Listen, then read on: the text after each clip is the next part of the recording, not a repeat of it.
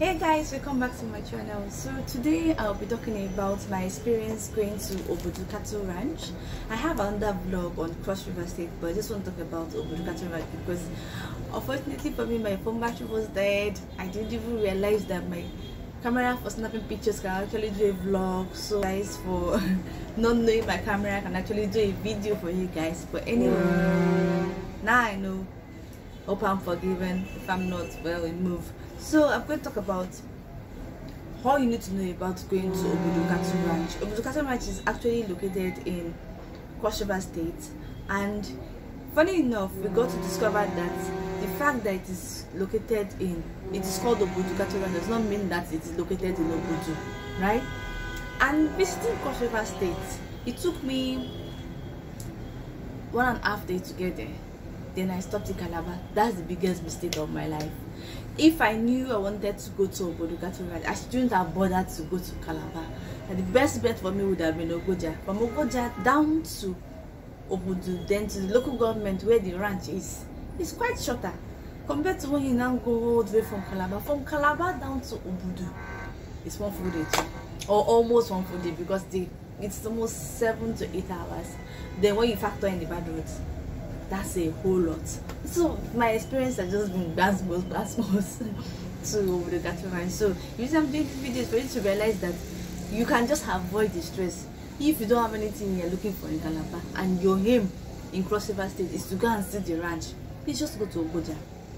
If you're coming from lagos go to ogoja if you're from port go to ogoja. From ogoja you can spend the night look for a motel or hotel look for budget friendly places to stay. I will also link below the where you can book for hotels that are budget friendly in ogoja in calabar. If you're stubborn and you say you want to go to calabar and you have other places you want to explore in calabar definitely do you. If if you want to check Eka Calabar is a good idea. Where I stayed in Calabar was close to the university which is UNICAL. That's Mary Slessor. And it was a fun place to be because I was among students you know. But anyway so how do you go to Obudu? First things first like I said earlier please go through Ogoja if possible. Because it will save you just go through the stress of traveling especially when you're coming from the west here. The stress of traveling one day or one and a half day just know you've gone through it once. Instead of going through stress of travel back to back to back i've still not recovered from the stress. So i will tell you go through ogoja. From ogoja you can now get another bus going to obudu. Very easy to get from there then when you get to obudu you will now have to take another car going to the um, ranch itself. I highly recommend you use car.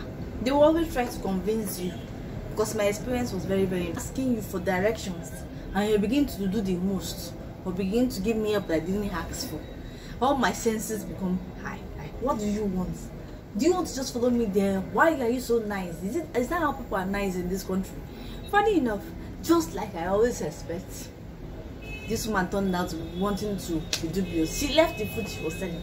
I was looking for this recommending things for us doing this. We almost bought a sweater of 7,500 just because she was being unnecessarily nice which is annoying.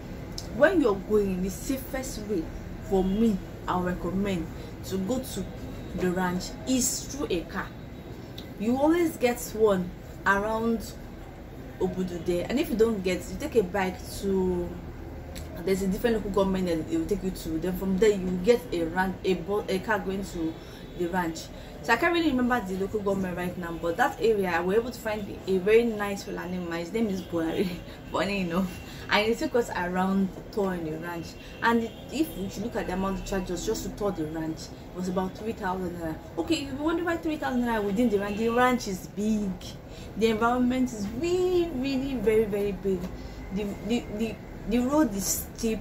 They actually climbing up to the mountain. So when you're getting closer to the ranch you will see the big mountain. I never knew that we're going to actually climb that mountain itself. The clouds are always gathered there then the road is very very steep. So imagine when you are climbing on that kind of steep road that is windy climbing up a mountain and you're on a bike. For someone that doesn't live there for someone that is a stranger or a tourist your heart will be in your mouth. Except you are such that is never afraid they will claim that when you're on a bike you will see everything.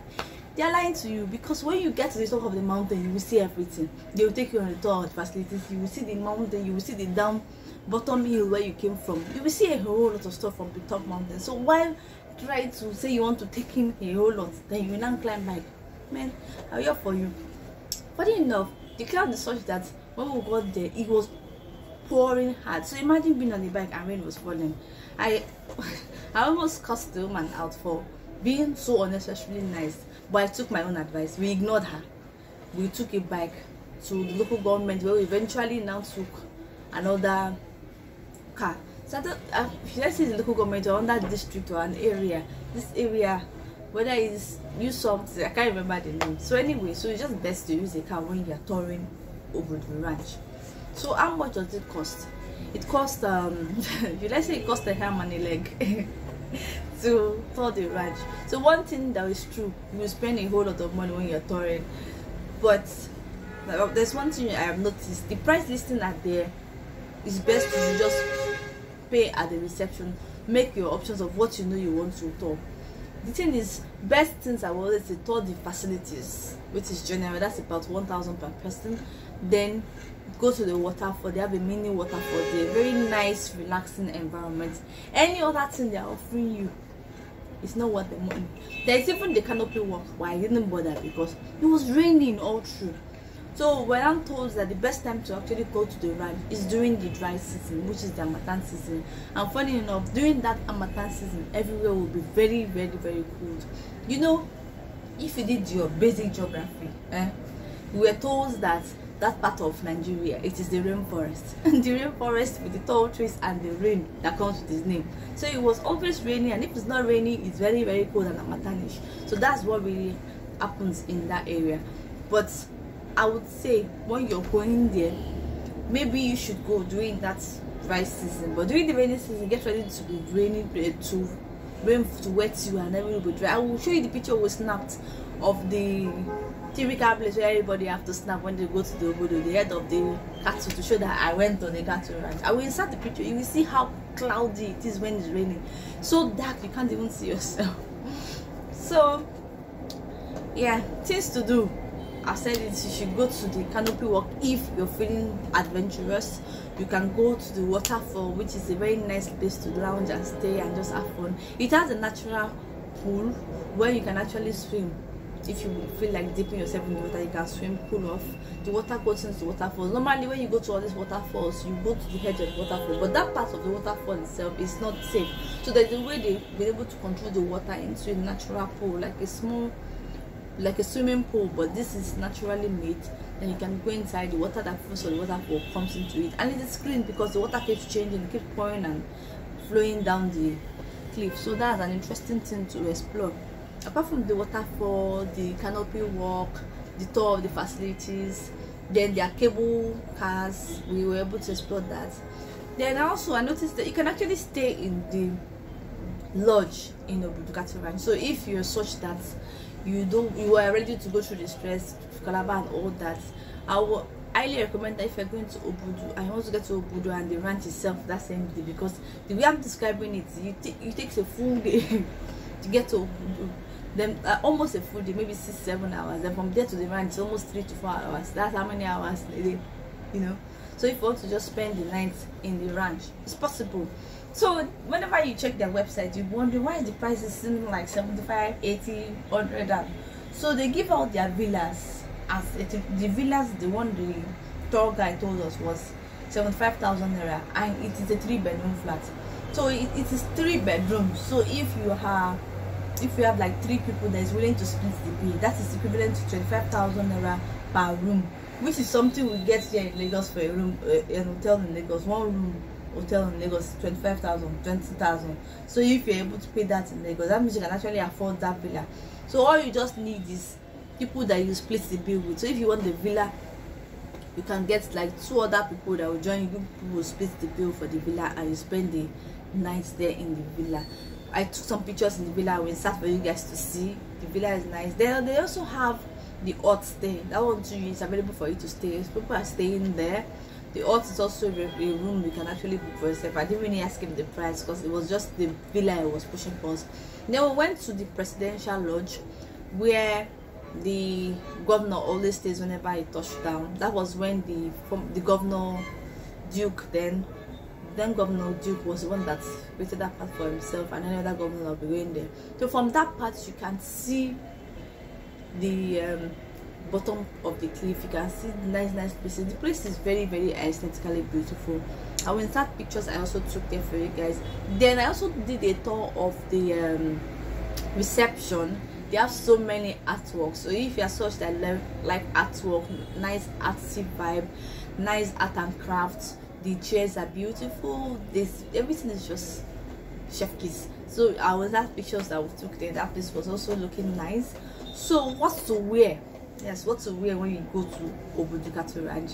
Because you be wondering what should I wear? What should I wear? Yes there is a whole lot. You have to prepare to go to Obudu Ranch. So you're not falling the trap of people telling you to come and buy what you can't really you're not planning for it's not part of your budget. So what to wear when you're if you know you're going to Obudu when you're going to cross river prepare to go with your cardigans.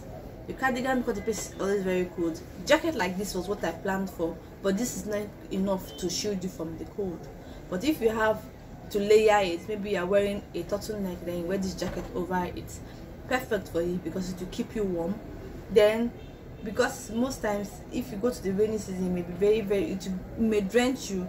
If you can get a coat that is like a raincoat better for you. That is if you are still such that is adventurous and prefer to use bike to travel. Then for ladies it's highly preferable you put on trousers because i put on my trouser when I, I and you see the picture I took. Was trouser under my dress. I tried to fold it because I wanted to take pictures and if you see the way the cold rushed me it wasn't funny at all. So you need trouser please. You need trouser for your for your legs. And if you don't want to wear trouser you need a very long socks or a pop socks. But a pop sock that is not sticky it's not going to do you any favor. Therefore guys too trousers then wear cardigans. Then if possible if you get cold easily please wear your cardigan that has a hoodie because you will need it. Then we visited a part of the community. Yes people have been living there before it was made into a tourist destination. So we saw one of the villages they have a very local market. They sell um i saw them selling fufu what do they call it? I can't even remember the name because i'm so exhausted. They had um fufu they had some kind of weird snack like more like a beef pepper soup something weird like that. You see whole different vibe and community there. And we saw some cattle grazing at the top of at the edge of the cliff. And we're wondering how are they able to stand and not one fall? Because even with the humans are worried that we will fall. So best means of transport for me is to use the car. Please. Please please please please. Don't be acting so wise. Use a car to tour the resort and also check out the prices of the facilities you want to explore. Don't let anybody come and tell you do this this this this this. When they are showing you do this this this add up the money. Because the money you will spend on the just to tour the facility to explore the facilities and also other things in Dobudu plus the one you used to go back to town. Plus the one you used to transport yourself back home. All this thing adds up you know? Because just to tour the facility we spent almost um maybe six to eight thousand naira because we're two. That is because we are still within the range. Then our transport from where we took it down and back to the Obudu town was twelve thousand plus. So you see all this money adds up. So you just best. And even our bike man that wanted to go from Obudu town straight and say he want to tour the place with us assuming we're going to tour everywhere was asking to collect 15,000 naira. You see, you're going to spend a whole lot to explore I don't know why people always try to, you know, because you've been there, done that. We asked some guys that, ah, how's Obudu Ah, this is a waste of time. The vibe is no longer there. Yes, we know that place needs a whole lot of renovations. We know. But it's still fun to be, it's still a fun place to go to. So, you see, I say I highly recommend it if you want to go there but what I will always say because it is far from everywhere say when you're coming from the west here please do yourself a favor. If you know you are going there please go straight to Ogoja. From Ogoja you're already getting closer. Go through the streets once and for all. Don't go to Calabar except you want to go for the carnival. Don't go to calabar and the carnival is during december period so why go through the stress there is not really much to see in calabar apart from the national museum. Every other thing is far from each other. The agbokin waterfall is far. It's in ikom this other one is far. Everything is far far far far from each other. So there is nothing much in calabar so why waste your time to go to calabar so just go to ogoja and save yourself the stress. So if you like this video give this video a thumbs up. Subscribe to my channel till another time. Bye guys